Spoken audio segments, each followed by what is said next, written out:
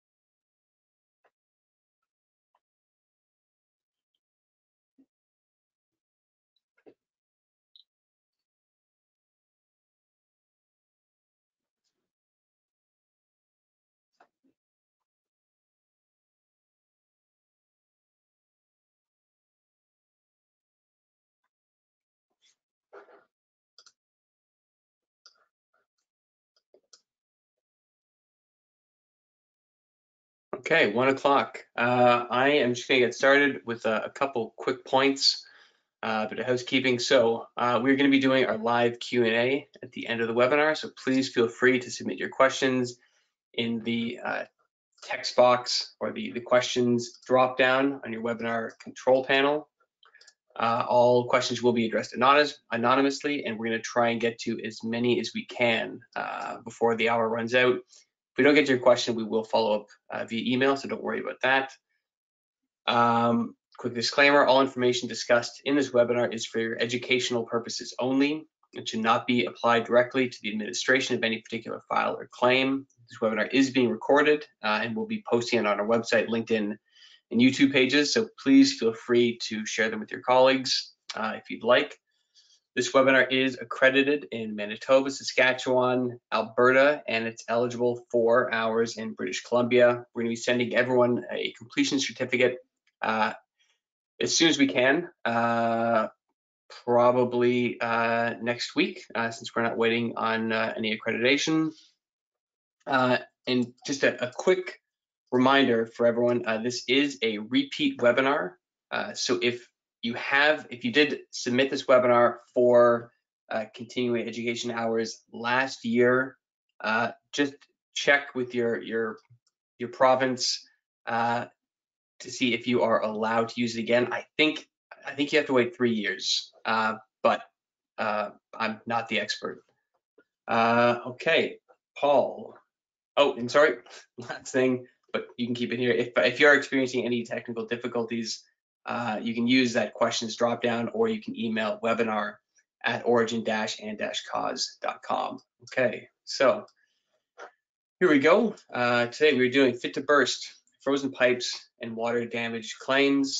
Uh, this is with uh, Dinu and Paul Amati. So like I said, this is a reprisal of a webinar we did back in November uh, before the onset of winter. We thought that now that we're sort of at the tail end of the season, and some of you have received these types of claims, a refresher might be beneficial.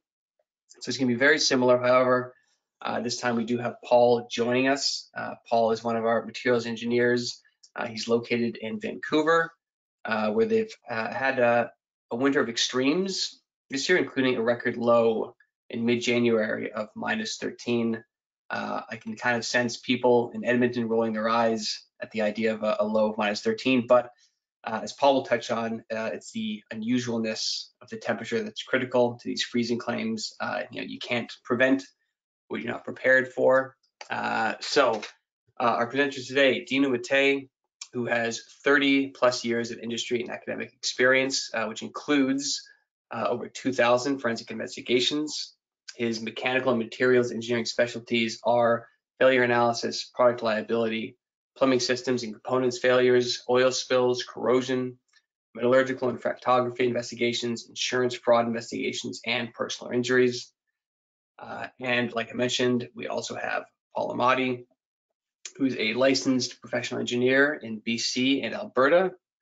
Uh, he is a mechanical materials engineer specializing in forensic failure analysis, which includes plumbing systems and components failures, corrosion related failures, environmental degradation, HVAC systems failures, personal injuries, product liability, and metallurgical and fractography investigations. Uh, and now I'm going to hand things over to Paul, and he's going to get us started. Thank you, Mark, for that great intro. So today we're going to dive into an interesting aspect of physics that affects us all, especially during the cold winter months, and that's the freezing of water. So water is a substance that's vital for our everyday lives, but its unique properties are often overlooked. And at the core of these properties is the freezing point of water which is about zero degrees Celsius or 32 degrees Fahrenheit.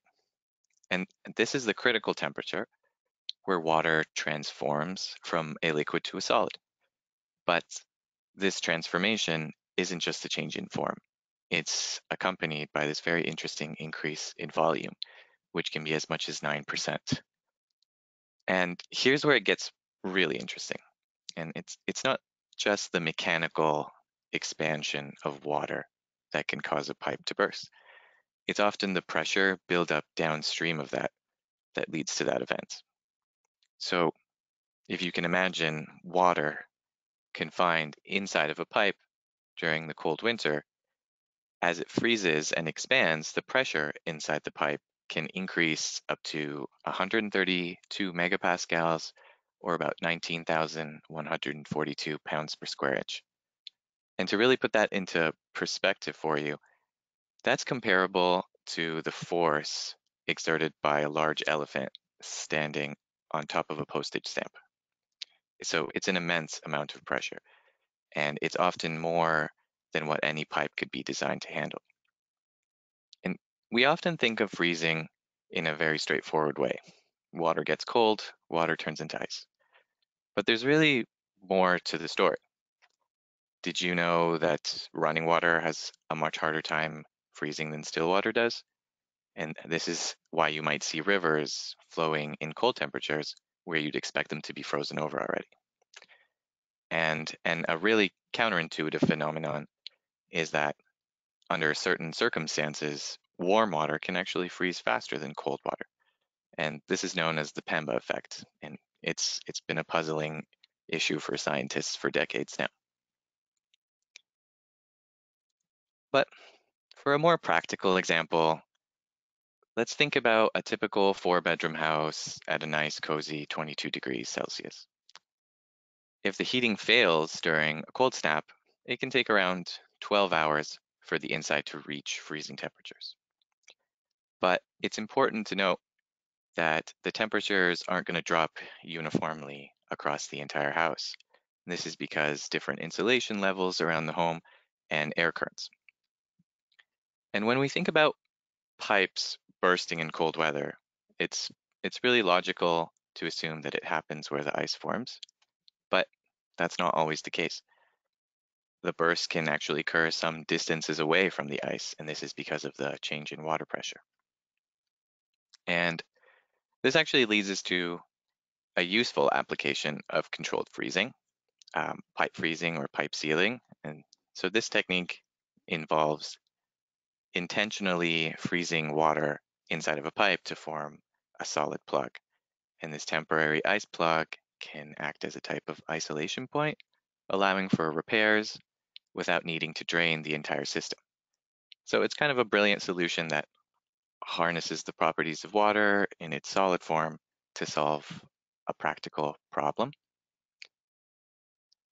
But let's let's turn our attention to different scenarios that can lead to freezing within a home. Now, imagine it's a chilly winter day, you come home and you find a draft. This could be because the doors or the windows were left open by accident, which allows the warmth to escape and the cold to invade. It's simple, but it's often overlooked.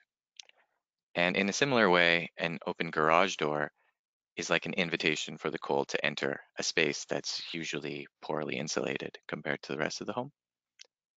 And speaking of insulation, so insulation, you can think of it as a warm blanket around your home. If it's shifted in some areas or if it's missing, the cold can penetrate the walls. leading to fast decreases in temperature and, and even the potential for frozen pipes. And in these cases, your furnace is really your best friend when it comes to fighting the freeze, so to speak. A malfunction here can be a direct ticket to freezing. Your furnace is, it's a critical piece of equipment and it must be maintained to ensure a warm home. And if the furnace becomes starved of oxygen, which, which could even be caused by frost buildup in the air intake, it won't really function as intended. And it can be affected by a lot of other issues, such as a flood caused by a failed plumbing component in your home, or even a power outage, especially in the winter, which can disable your heating system, and that leads to a really quick temperature drop. Um, what about the thermostat? Uh, if it's turned off or if it's set too low, it won't signal your furnace to generate heat. Uh, even depleted batteries in your thermostat could render it unoperational or inoperative. And this, again, leaves your home vulnerable to dropping temperatures. And uh, lastly here, a really tangible sign of freezing is when you go to turn on your tap and you find only a trickle or, or nothing at all coming. This is a clear indicator that pipes are frozen somewhere in the system.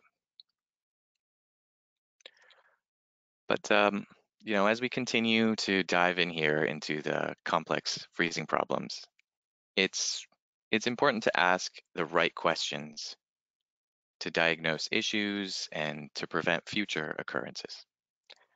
Um, so let's talk about some of these.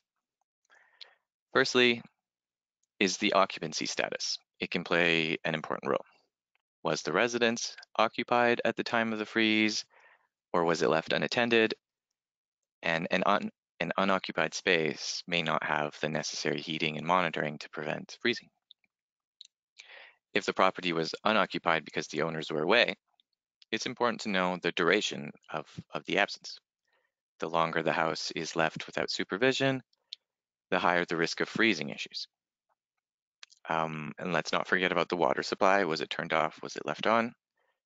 Even the frequency, the frequency of house checks during cold periods also matter. How often was the property inspected? Um, regular checks can catch early signs of freezing before they lead to a flood. The thermostat setting is another important factor. Was What was the temperature set at? Incorrect settings can lead to insufficient heating, which leads to freezing. Um, but in the, in the unfortunate event of a flood, identifying who discovered it and what immediate measures were taken is important for assessing the response and how effective it might have been. And understanding the extent of the damage is also key.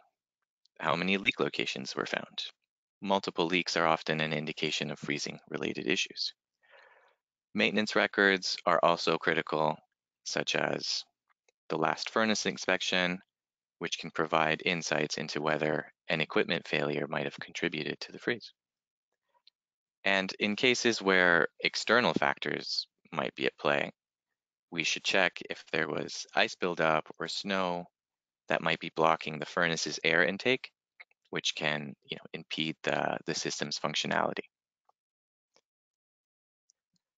So in the, in the aftermath, so to speak, of a freezing event, um, which has which has led to lead, excuse me, which has led to leaks or damage in the property, precise action and careful documentation are key.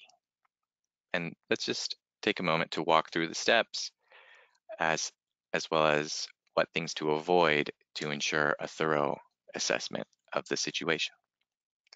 First and foremost, it's essential to document the leak locations. Detailing the specific sites of the leaks gives us more information than simply noting the extent of the damage. And this allows for a more targeted approach in understanding the failure points in the system. And next, we can turn our attention to the control systems. So we want to document the settings and the conditions of the thermostat, the furnace, or any other component that may have been involved in the leak. And this information is vital for a forensic engineer to understand the circumstances that might have led to the freeze. Um, speaking of which, enlisting a forensic engineer is an important step. And these are specialists who will analyze the failure in detail and provide expert insights into the cause and the sequence of the events leading up to the damage. You should also ensure that you have your utility bills on hand, and these documents can reveal any usage patterns that may correlate with the freeze, such as a drop in heating consumption. Uh, it's also important to review historical weather conditions for the area leading up to the loss. Resources like AccuWeather can provide um, past weather data that might be instrumental in understanding the internal factors that contributed to the freezing. But now let's talk about what not to do. It's important not to remove or alter the thermostat, the furnace, or any other components that were part of the system when the leak occurred. Any change in these areas can, can obscure the findings of the forensic investigation. And in a similar way, don't dispose of any of the pipe sections or any components that were involved in the leak. These are all pieces of the puzzle that are important for a complete forensic analysis. And you know, by following these do's and don'ts, you can ensure that you've preserved the integrity of the scene for a thorough investigation, which paves the way for a clear understanding of the events and for developing strategies to prevent future occurrences. And before I hand it over to my colleague Dinu, like Mark said, I wanted to talk about the change in weather patterns in Vancouver, which is where I live. So historically, Vancouver is known for its mild winters, and this is courtesy of the Pacific Northwest climate.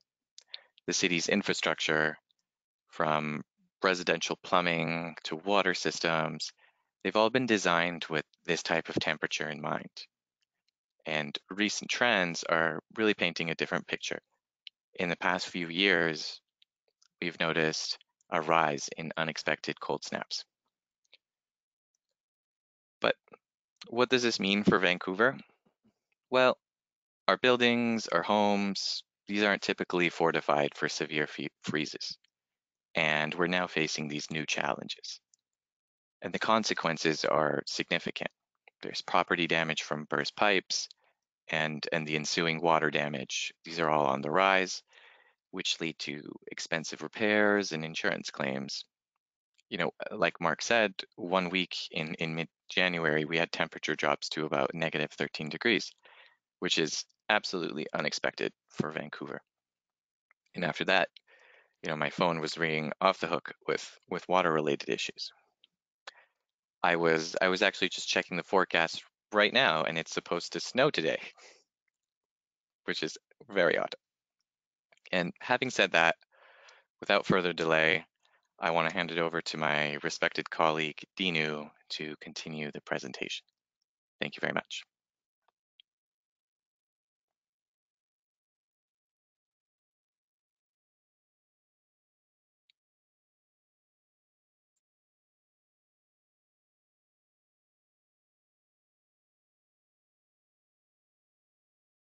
Thank you, Paul and uh, welcome everybody at this uh, webinar. It's our pleasure to discuss this interesting topic, which is called uh, freezing.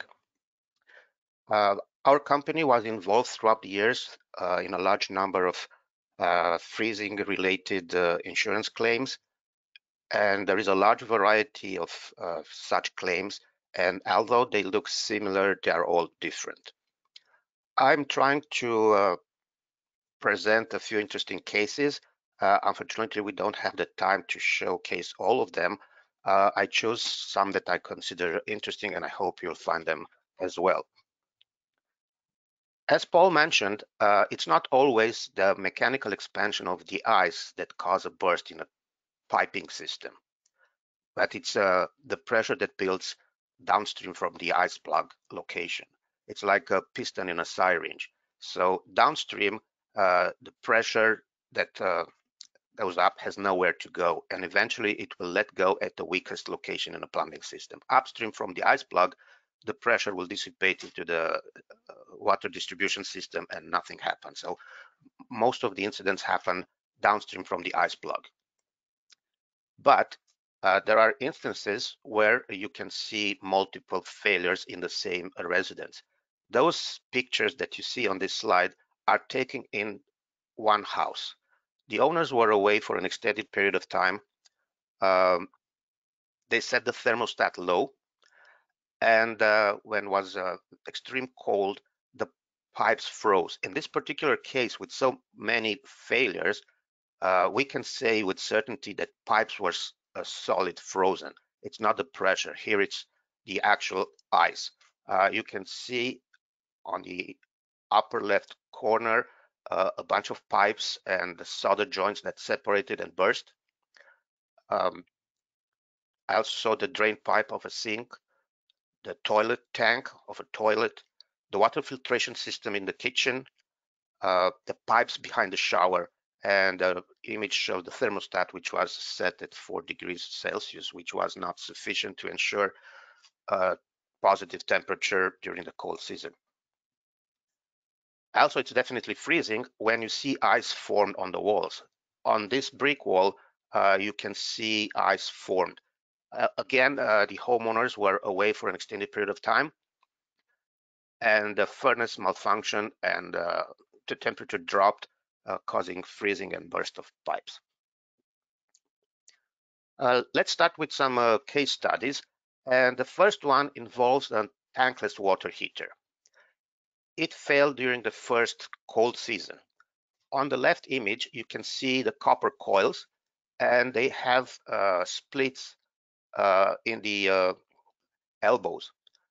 freezing typically causes this type of failures because in this area, the wall of the pipe is the thinnest. So this would be the weakest component, the weakest part of the pipe. And again, when you have multiple splits, you can think of freezing. We attended the site and we examined both inside and outside the building, and we noticed that the heater was installed right below the entrance of an exhaust pipe. So the pipe that you see on the right image enters the building and you can see there is no insulation. So this was an invite and a pathway for cold air to enter. And because cold air is heavier than warm air, once it entered the building, it dropped directly onto the heater, causing it to freeze. So this uh, incident was uh, caused by an installation uh, deficiency. It's not very uncommon to see sprinkler system failures due to freezing.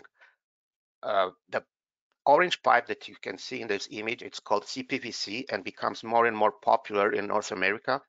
It's uh, fire resistant and uh, it's easy to install and it's relatively cheap compared to a steel pipe. However, it's not prone to degradation if it's in contact with other materials, but it's also prone to freezing if it's not installed properly. The applicable code requires that if you have to maintain four degrees Celsius uh, where you have sprinkler system uh, pipes running.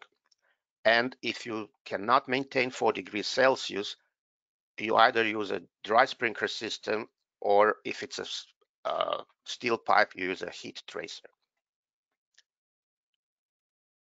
Even the pipe is installed correctly, over time due to various conditions, the insulation can shift, exposing the pipe to cold air.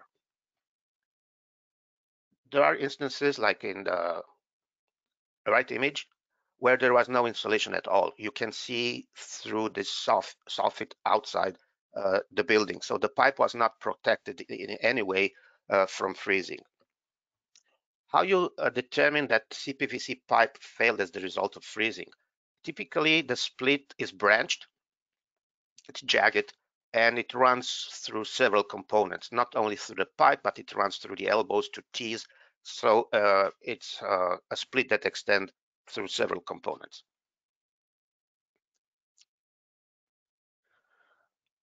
We are all familiar with the failure of solenoid valves because uh, some internal component is made of a material which is not compatible with chlorinated water. However, there are instances where these solenoid valves although they are inside the house, they fail as the result of freezing. And uh, how you recognize that they failed as the result of freezing is uh, there's the splits again, uh, they are branched and uh, they are in the body of the uh, the solenoid valve and not necessarily internal and not necessarily in a stress concentrated area. Here are three examples of solenoid valves from a fridge or a dishwasher or washing machine that failed as the result of freezing. I was asked numerous times, how come the solenoid valve froze when it was inside the building and the building was heated? As mentioned uh, before, it's the pressure buildup that caused this to happen. It's not necessarily that you have ice inside the valve, but the pressure, which can go up to 20,000 psi, as Paul said, can cause this uh, type of damage uh, e easily. So in this particular case, it's not about a manufacturing deficiency uh, or an installation issue, it's uh, about freezing. And when we do those examinations, we always check the weather conditions uh, for at least a week prior to the date of the loss. And by analyzing the data and looking at the available evidence, we conclude that it was uh, freezing. This uh, example is about uh, frost-free valve. Uh, this valve does exactly the same thing that the name implies. It ensures a frost-free co condition how it works, the stem extends inside the building. So the water stop is actually inside the building in a heated space. It's not near the outside wall where it could freeze easily. So it's a very smart design. However, these valves should be installed correctly. Otherwise, they will uh, act as opposite. Those valves needs to be sloped downwards such that the water that's accumulated in, inside will be evacuated naturally by gravity. If the valve is installed the other way around, sloped towards the building, then the slope will prevent the water to be evacuated and stagnant water will stay inside the pipe and eventually it will freeze.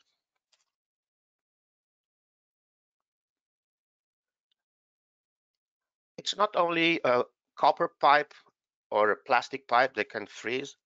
Uh, we have uh, deal with instances where braided hoses under sinks uh, failed. Uh, usually those braided hoses failed as the result of corrosion because they are exposed to uh, an environment which contains harmful chemicals originating from household uh, cleaning compounds. If you have a Windex, for example, it contains ammonia ammonia is not friends with brass alloys. You have Clorox. Uh, Clorox contains, as the name implies, chlorine, and chlorine is not a good friend with stainless steel. In this particular case, one of the water supply lines to the sink, to the faucet, was effectively uh, ejected from, from the crimp. You can see on the right side, this is intact. You still have the uh, the nut and the crimp. On the left side, uh, the hose was effectively uh, pulled out from, from the crimp. Looking under the microscope, I did not see a corrosion on the braids as one would expect. And this is not typical for a corrosion type of failure. When you have a corrosion failure of braided hoses, you have inner hose uh, inner polymeric has hose exposed and it has a longitudinal split, which was not the case here. I took some of the braids and uh, examined them under a more powerful microscope and I saw evidence of ductile overload, meaning, in other words, that it was forcefully pulled out. By uh, analyzing the weather conditions before the incident, the occupancy of the house, I concluded that this failure was the result of freezing. Freezing can occur in industrial uh, environments as well, not only in residential homes. This is an example of a plumbing section of a plumbing system which was uh, co connected with the so-called Victaulic couplings. These couplings are made for more than 100 years and uh, they are not known to fail as the result of manufacturing deficiency. The production is so controlled that the manufacturer will be able to tell you which foundry those cast iron couplings were made. Their problem is if they are installed incorrect, uh, the groove in the pipe is not uh, deep enough, uh, the gasket is pinched, and there are several other uh, conditions that can lead to their failure. But also, they are subjected to failure due to freezing.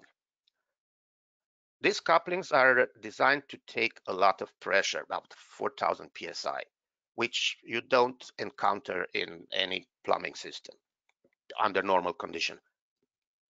You see the lower coupling has a, a fracture in the in the one of the halves. You can see it here.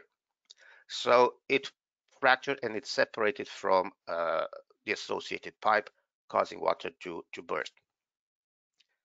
We uh, looked at the coupling. We did not see any manufacturing defect, any cast deficiency. The chemistry was right, and uh, we determined that uh, it failed as the result of freezing. It must be said that uh, in brittle material like uh, cast iron or uh, soft materials, the fracture surface is hard to interpret because due to the nature of the material, uh, the traces left by the failure are not always uh, visible. It's very important to have uh, your furnace checked. I would recommend to have the furnace checked by a specialized technician before the onset of cold season. Uh, that gives you some sort of uh, confidence that you will go through the winter and without any problems. In this particular case, the homeowner wanted her, her furnace to be inspected and uh, maintained. During the process, the technician broke one of the fittings. You can see it here and you can see it on the right side at uh, higher magnification. This fitting was uh, relevant for the functionality of the furnace. And because the furnace was altered, it stopped working during cold season and the entire home froze. So in this particular case, the house was occupied. Uh, the thermostat was set at the right temperature. It was just uh, that the technician uh, did a poor job and he altered the furnace, which prevented it uh, from uh, working as intended. It's not always that a plumbing system fail as the result of freezing. Uh, residential fuel oil systems are also prone to freezing if they are not properly maintained. You can see here the front of an oil tank, the bottom of an oil tank, and the inline filter.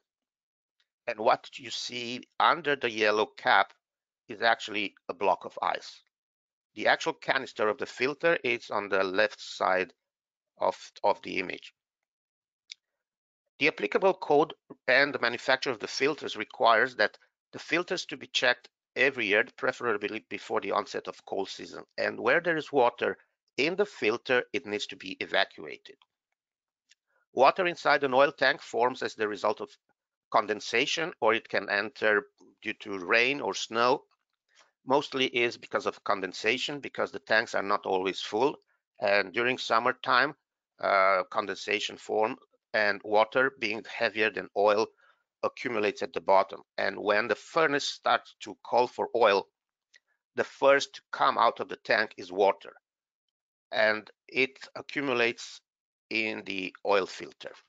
And if it's not evacuated before the onset of cold season it can easily freeze like in this uh, instance. Coming back to uh, plumbing systems, uh, probably you're familiar with those uh, versatile connectors called uh, uh, pushing style connectors. They are very uh, versatile, as I said. Uh, they are on the market for about 10 years. And as far as we know, they did not fail as the result of uh, freezing, uh, of a manufacturing deficiency. In this particular case, uh, you look at one uh, such connector, which has the collet broken, uh, the seal broken, and the body exhibiting a fracture. This type of failure is not typical for an installation issue. It's not typical for a manufacturing deficiency uh, because there are so many comp internal components that failed. It was not only one. And again, uh, checking the weather conditions and the occupancy of the house, it was determined that the failure was the result of freezing. In the first slide that I presented, I showed you numerous components that fail in a house. When freezing occurs, it's not necessarily there are multiple failures. It could be only one. And uh, when there is only one, there is only the question if something else other than freezing occur.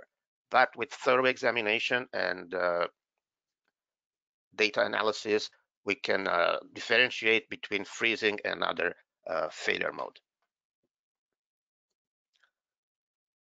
Toilet connectors. Uh, we all know those toilet connectors fail as the result of creep due to improper selection of material by the manufacturer and due to an improper design. However, um, in this particular case, the toilet connector failed as the result of freezing. The water supply line, the braided hose, is filled with water all the time. And uh, it's stagnant water because the toilet is not used. So we were called in uh, to check the toilet connector. I said, oh, it's another toilet connector that failed as the result of freezing.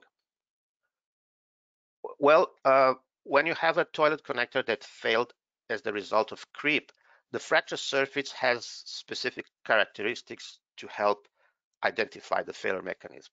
On this particular case, I look at the fracture surface of this coupling and I saw the appearance is totally different than on the ones that failed as the result of creep. Uh, you can see a lot of ductility and uh, the features on the fracture surface clearly uh, said that this was overloaded. Again, uh, we determined it was freezing based on the, the fact that the coupling failed is the result of ductile overload, the fact the house was not occupied oftentimes it's hard to uh, pinpoint exactly the thermostat uh, because after the incident, usually the thermostat is fixed and the settings are readjusted. It must be said that for certain thermostats, our company is capable to read the history. So even after a freezing incident, the homeowner or the contractor crank up the thermostat, uh, depending on the model, we might be able to look into history and say, okay, on this day it was set up at this uh, temperature. Uh, this is a very interesting case. It, it involves uh, the lab of the university. You can see uh, a lot of benches and a lot of uh, faucets. And it was during the cold season when the, the management, the dean, decided to change the windows. And uh, it was a poor choice, in, uh, in my opinion. First of all, there were minus 25 to minus 30 degrees Celsius outside. And second, uh, although the students were on vacation during that time, they did not shut off the water uh, to those benches. So when the windows were replaced, for a short period of time, there was no insulation between the frame and the wall. So there was only some tarp. It's not visible in this picture, but that's how they decided to protect the lab from freezing by putting some tarp, which is totally uh, inadequate for this purpose. So when there was so cold outside, the water was running, was in the pipes uh, it was just a matter of time until one of the pipes will burst. and it happened at this T under one of the bench. You can see this opening, which is typical for uh, freezing. Um, the window installer and the faculty uh, claimed that it was a manufacturing def deficiency at this T and this caused the burst. We removed the T, we took it to our lab, we looked under the microscope and it was clearly that uh, it has no manufacturing deficiency, there were no porosity, no inclusions. Um, the microstructure was uh, solid, uh, no, no defects, and the fracture surface indicated clearly that it was ductile overload. And because the lab, the students were on vacation, the lab was not used, uh, there was no reason to believe that it was a water hammer or something else that could cause the pressure increase. And it was, uh, again, uh, freezing. This is a section of a sprinkler system in a parking lot downtown Toronto. Uh, a few years ago, uh, it was very cold outside, and uh, the elbow of this sprinkler system froze. You can see the ice coming out of the, the opening. This is solid cast iron, and it can take a lot of pressure. But with the ice buildup, uh, it, it gave way. So it was very cold and it was a power outage. So the the system was not working, uh, the heat tracing was not working, there was no backup. So there were favorable conditions for uh, uh, freezing to occur. Uh, the lesson learned from this incident, it was that the management should have a backup system to prevent uh, such incidents to occur when you have both freezing and uh, power outage simultaneously. As I mentioned earlier, in uh, spaces where you cannot maintain 4 degrees Celsius, the sprinkler system of choice should be a dry sprinkler system. And a dry sprinkler system is exactly what the name says, dry. So up from the valve, the pipe is free of water to prevent freezing. However, these systems needs to be uh, tested and maintained. The pipes should be sloped towards so-called low drain points. And before the onset of the cold season, those low drain points needs to be drained. The system is flushed and tested. So during this testing, there is water running through the pipe. However, it needs to be evacuated in order to prevent freezing. Um, typical of freezing in those pipes are the longitudinal splits, as you can see on the top picture and the bottom picture here. There are two different pipes from two different uh, locations, but uh, the appearance of the openings is uh, quite similar. In this particular case, it's uh, a larger opening versus on uh, top pipe. Looking inside the pipe, you can see uh, evidence of corrosion. So this was clear evidence that stagnant water was present uh, inside the pipe. Like in uh, oil tanks, uh, water is not only from uh, testing the pipe, but it's also formed as the result of condensation. So that's why uh, these systems are needed to be drained of water before the onset of cold season. If this is not happening, stagnant water will freeze. And as Paul mentioned, it expands 9% uh, by volume, which is significant. And that caused this type of uh, failures. This is another interesting case involving a, a warehouse. Uh,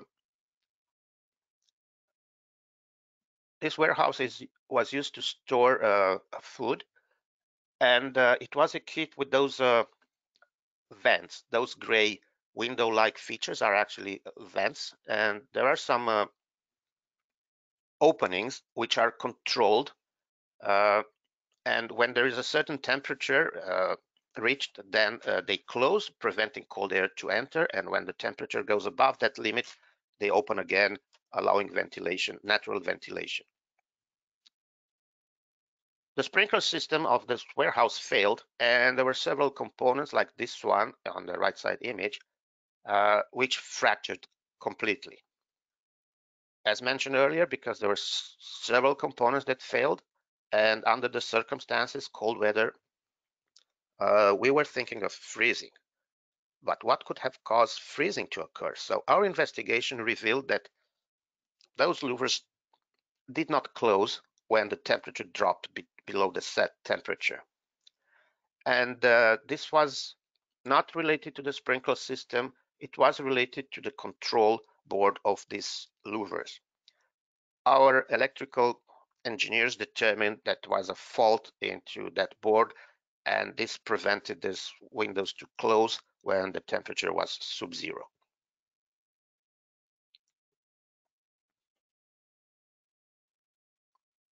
We've seen uh, numerous instances where there are cold air spots in a building. Uh, this is a commercial building. Uh, actually, it's a dentist office. And the building was uh, covered on the outside with some aluminum panels uh, for cosmetics. During uh, the first winter, the water pipes that run behind the panels froze. Uh, there were five or six sections, different sections that failed as the result of freezing. When I attended the site and I looked at the building, I saw that the insulation between two adjacent panels was ensured by duct tape, which is totally uh, inadequate.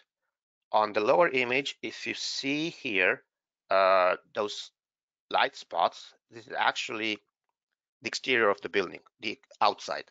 There was no insulation whatsoever, and the insulation that was existing was not properly uh, in, installed. Going outside the building, uh, I could see that the seal between uh, the two panels uh, was not properly uh, in, in, in, place, allowing cold air to, to enter. So uh, it was nothing wrong with the design of panels, but it was wrong with the construction of the building. You don't use duct tape as an insulator and it's a good idea to uh, put the insulation throughout the entire piping system to prevent freezing. If you have a gap, uh, that gap uh, invites cold air. This was a straightforward case. Uh, the thermostat was not sending any signal to the to the furnace because there was no battery to to power it. Speaking of uh, thermostats, uh, it's a good idea to change the batteries once a year, preferably before the onset of cold season. A lot of people are neglecting this and uh, they leave the batteries for two, three years. And also nowadays there are batteries that can last long. Uh, they eventually will be depleted. And if it happens during the cold season, then uh, uh, you create favorable conditions for your home to freeze. And the last case study that I wanted to present is quite interesting. Uh, what are you looking at uh, is a film studio in Mississauga. And during a, a winter, pipes froze and they flooded the basement. You can see here the water level. It, it was up to the chest. And the claim was quite substantial because in the basement there was a lot of equipment necessary for the studio to, to operate. So we were called in to determine what happened. Uh, it was very interesting because uh, during that time, uh, some movie company was shooting a movie about Chernobyl. And what you can see on the right side image it's actually a recreation of some uh, a room in a uh, in, in Chernobyl. The problem for us was we did not know which is the real pipe and which is the prop because there were so many props there for for the movie. It was really really hard to identify the actual pipe uh, and differentiate it from the the props. At the end of the day, um, we, we discovered that uh, the entire building was uh, split into several sections, and one section was actually uh, a shop. And uh, the owner of the shop wanted to prevent people from stealing uh, tools, so he closed the door, and in the same time he closed the boiler, which was uh, ensuring the heat to the building. Uh, and as the result, some of the pipes froze and uh, that led to this uh, uh disaster. Uh, before the end of our presentation, I would like to present a few tips to prevent freezing from occur, occurring. Best prevention is uh, make sure that the heat source in your house never stops. Allow warm air to circulate throughout the entire house. Leave the, the doors inside uh, open. Uh, check doors and windows for cracks. Uh, see if there is a cold air coming uh, around the frame or under the window and uh, try to block it. Um, as I mentioned earlier, uh, insulate the pipes. Uh, there are readily available foam-like insulators for pipes, are easy to install, but make sure there are no gaps. So make sure uh, that the entire pipe is uh, insulated, especially um, in, in the kitchen, uh, because uh, most kitchens, the pipes are running uh, inside uh, the exterior wall and they're exposed to low temperature and also try to insulate the pipe runs in the basement.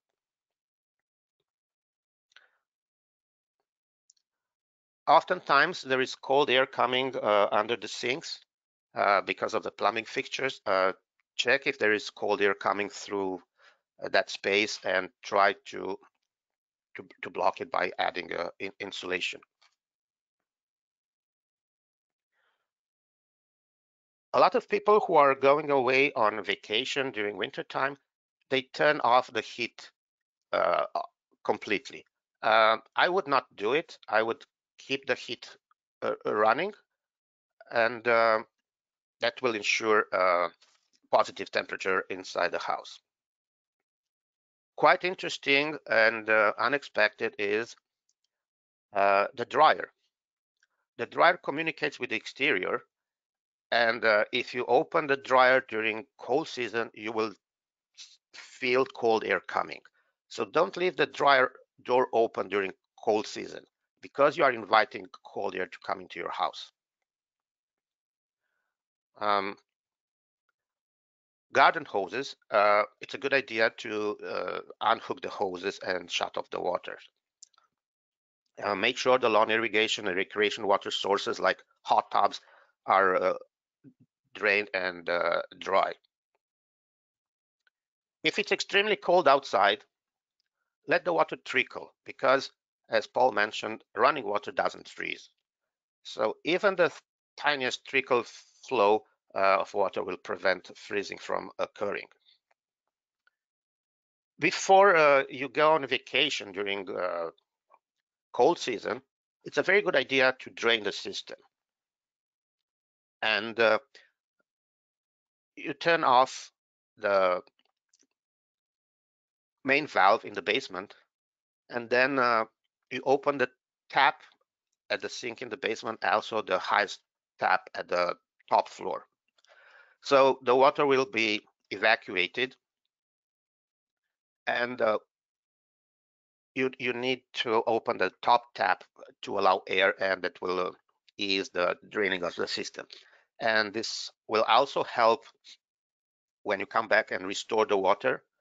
If the system is open and you open the water, uh, you won't have the water hammer. A water hammer is a spike in the pressure, which can uh, cause severe damage to your plumbing system. So if the system is open to the air, uh, the pressure will dissipate and you will not have any uh, issues uh, with uh, damage.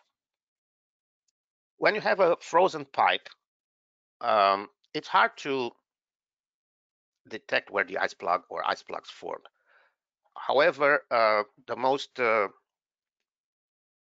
prone area for failure are the pipes uh, in, in the kitchen. A hot hair dryer can help thaw the, the, the pipes if you suspect freezing. Uh, when you turn off the on the tap and you don't have water coming and it's cold outside, you can say, okay, it's uh, freezing. But a hot hair dryer can help thaw the pipes, uh, leave the tap open so the pressure is uh, released and that will prevent damage to the plumbing system.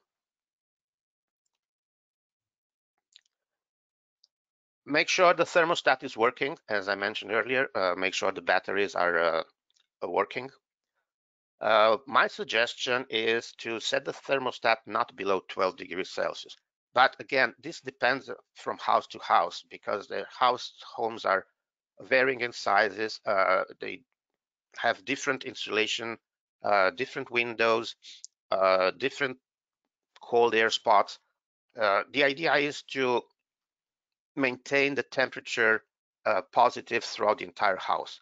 Uh, keep in mind that the temperature is not uniform throughout the entire house. There are some corners where the temperature is lower than in the hallway because the thermostat is recording the temperature at that location. It does not record the temperature at the very end in the in the basement. So if you ensure, let's say 12 degrees Celsius in the hallway, you might have six in the basement. If you set the thermostat at six in the hallway, you might have freezing in the basement. So uh, you have to use your judgment. There is no set rule. The idea is to keep the heat on and uh, to such a setting that the temperature is positive throughout the entire house.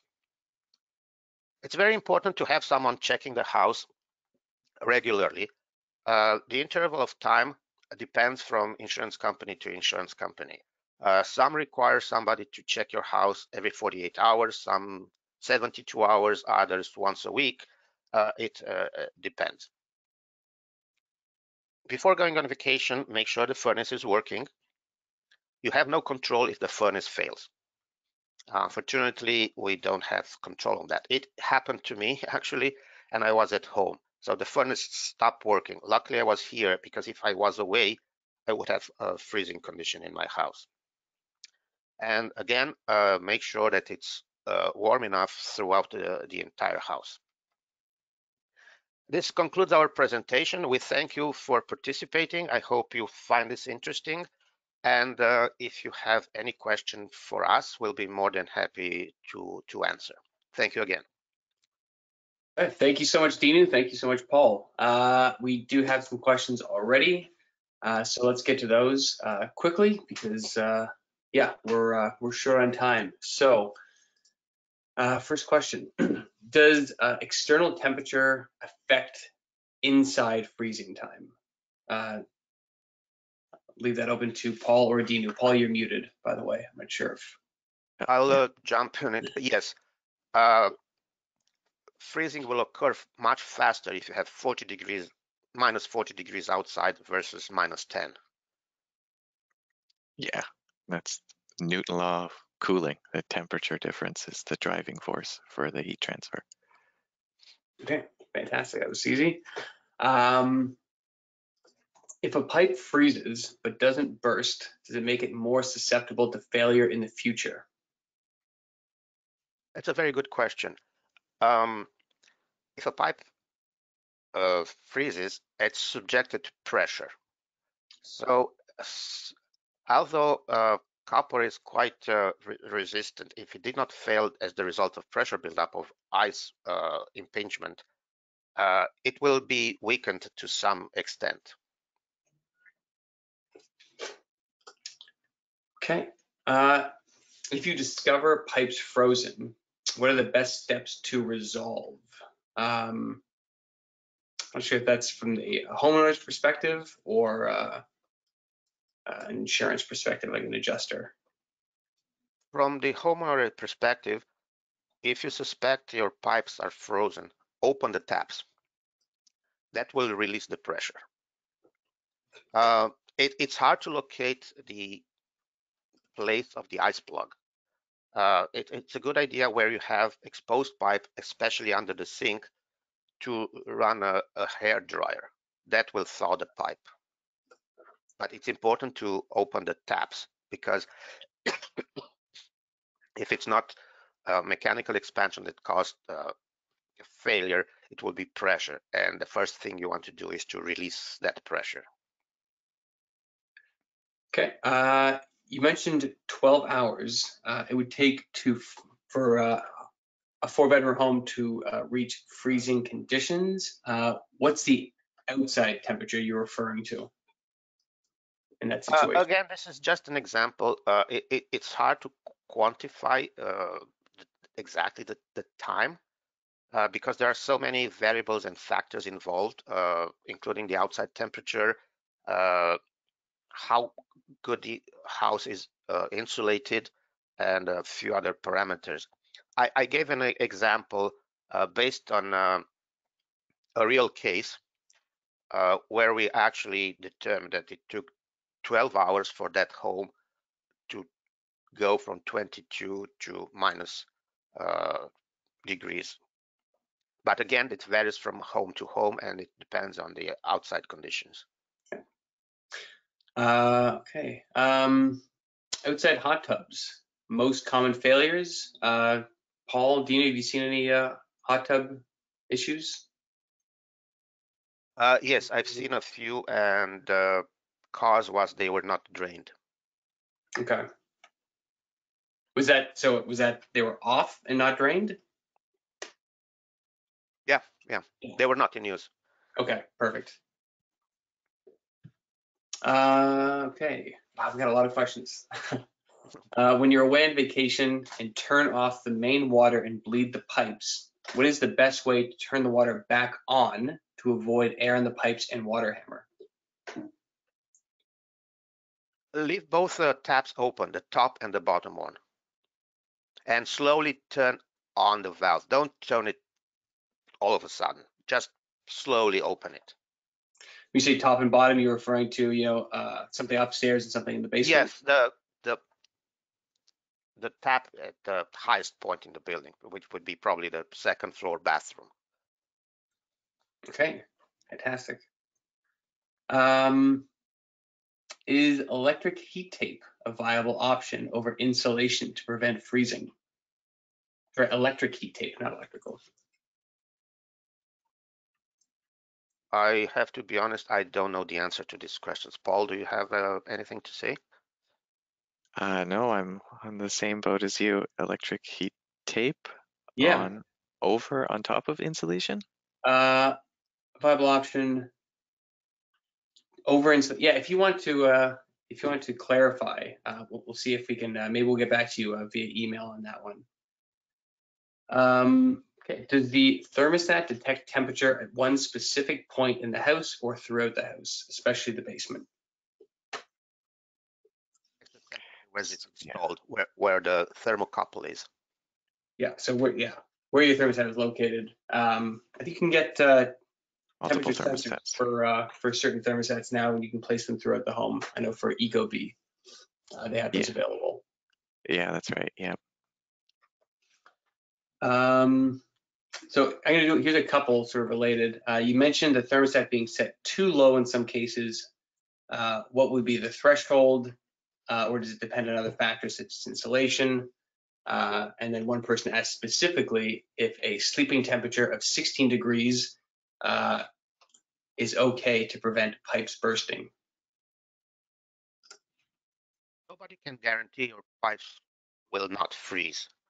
And uh, setting the thermostat temperature uh, again depends on the house. Um, it's not the same for uh, every house. Uh, some homes have uh, cold air spots uh, compared to others. In some instances, you can set the thermostat to say, let's say 12 degrees Celsius and you will be fine. And in other instances, you can set up the thermostat at 12 and you will encounter freezing.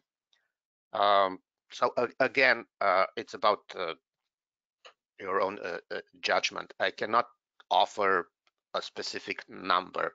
Set the thermostat to 16 and it will be fine because it would not be right. Okay. Um, what do you mean by do not leave the door open on your dryer? Are you talking about the dryer machine Yes, of the, yes, yeah, so the, yeah, the actual, the door of the machine. yes. Yeah. So when you go home, open it and you will feel cold air come. Well, it's not very cold in Mississauga now, but uh, you, you will feel uh, cold air coming. A, a, lot of people leave the door open to prevent, uh, I don't know, mold or something to, to form inside. That's nothing wrong doing this during summertime, but during cold season, it's a good idea to keep that door open, uh, closed all the time, sorry. Okay, thank you. Um, how do you ensure the basement is heated properly to prevent freezing since heat rises?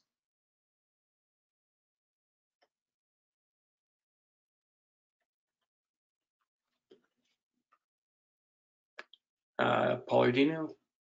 Well, that's an interesting question, but you still have to consider that when you're thinking, yeah.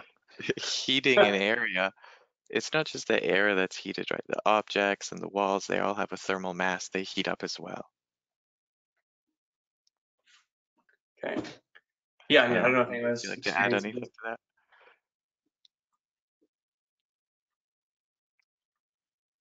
It's a good I mean, my, my furnace is in the basement, so I find that uh, the basement actually stays somewhat warmer than uh, other floors in the winter because it's uh, closer to the furnace.